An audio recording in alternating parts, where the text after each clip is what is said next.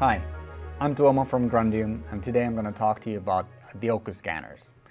The Ocus scanners offer an unbeatable combination of high image quality, ease of use and affordability for low to mid throughput remote pathology applications. Currently we have three models, the Ocus 20, the Ocus 40 and the all new Ocus M40 multi-slide scanner. But today I'm going to focus on the user interface of the Ocus 20 and 40, and I'm going to be using the Ocus 20 to show it to you. As you can see, it's a compact device, and the most important parts of the device are uh, the overview camera, then there's the main objective, the slide stage, and in the back you can find a USB port to export images to an external drive, and then there's an Ethernet port to connect it to the internet. So let's take a look at how we use the device. So in my browser, I'm going to go to grundium.net. And then I'm going to log in with the credentials that I already have. And click Login. And then I'm going to choose the device that I want to use. Uh, this is exactly the device I want to use. Click Connect and then here we are. And the scanner is telling me to insert the slide. So I have a slide here, and what, I'll do is open the slide holder by moving the latch under the scanner, insert the slide, and then close the latch to secure the slide. And then in the UI, I'll click on New Scan. After that, the scanner starts taking an overview image of the slide. And that takes around 10 to 15 seconds. And after that, we have an overview image on the screen that we can look at and choose a scan area that we want to scan at full resolution. In the UI here, we have the microscope view where we are right now. We have the scan archive and we have the settings. And on the right side, we have a minimap of the slide. We have scan area tools, exporting tools, and annotation tools. But let's take a look at how to scan an area with full resolution. And I have a plugin enabled that automatically detects a scan area. And as you can see, it's not perfect, so I might want to edit it a bit by dragging the points wherever I want them. And if I'm not happy, if I don't want to, for example, scan the full area, I can remove the scan area by clicking Remove on the right menu here. And confirm. And after removing the area, we can add a new one by clicking Add on the right side menu here. And then we set the first corner by clicking once, and the second corner by clicking a second time. And this is our new scan area. And then we can also trim all to remove most of the white space. And as always, we can always adjust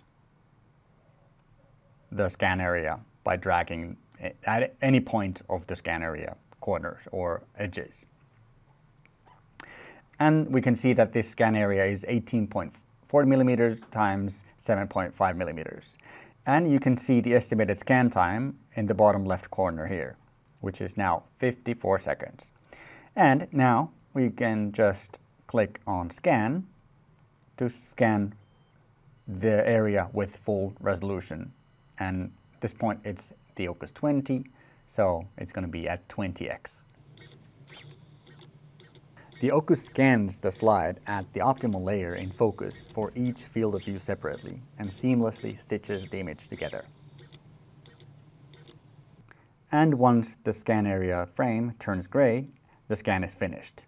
And then we can zoom in. We can use the mouse wheel, we can use the zoom toggle on the left side of the screen, and then we can use the presets on the top left corner. And now I'm going to use my mouse to zoom in to look at the sample at full resolution.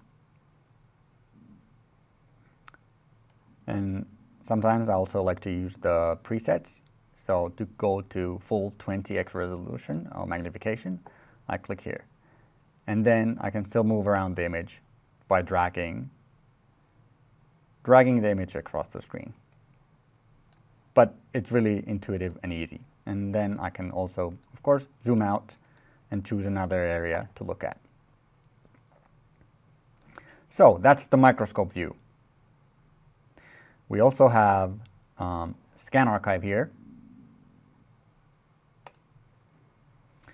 And the Ocus 20 and Ocus 40 have 500 gigabytes of storage inside the device.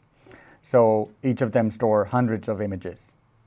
And for example, you can see that this Ocus 20 here, we have almost 200 images, but we still have almost 400 gigabytes of storage left.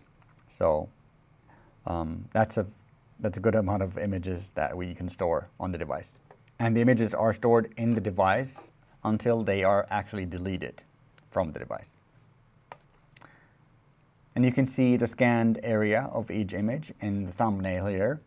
So just by clicking the image, you can see um, the overview image and the scanned area with the green overlay. So from here, you can also export the images. And to configure export settings, we click on export recipe. And here we can choose where we want to export our images. And we have the option of SMB, which is a network drive.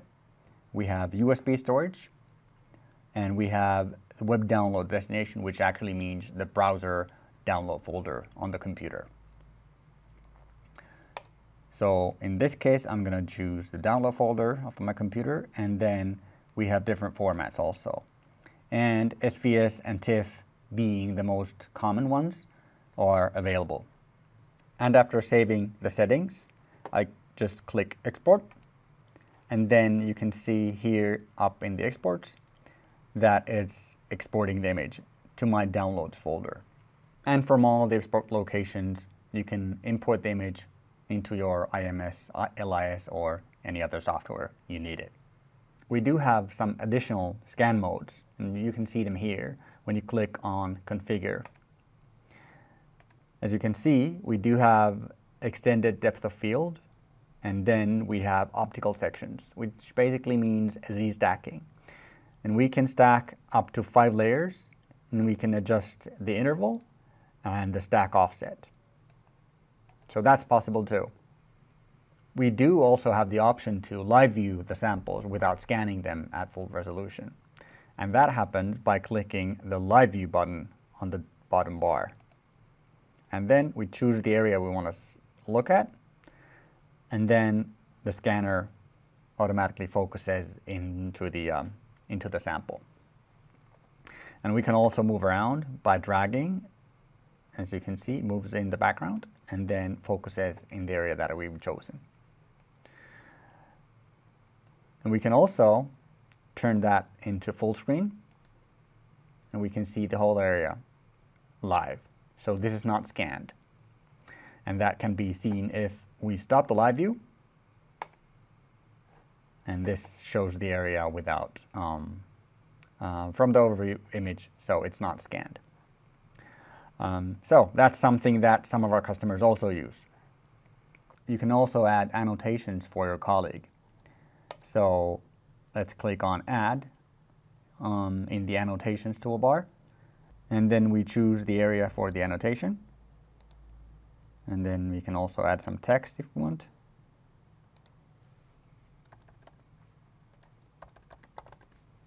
And then click on Stop Annotating. And this annotation is stored with the image in the scan archive. So whenever your colleague, for example, logs in for wherever they are remotely, they see uh, the scanned area and the annotation as well. And there it is. This is how easy it is to use the Ocus scanners. Anyone can learn to use them in 15, 20 minutes. They are an easy, affordable way to step into remote pathology. If you'd like a personal demonstration and to discuss how the Ocus scanners would benefit your organization, just reach out to us through our website and we will connect you with one of our experts.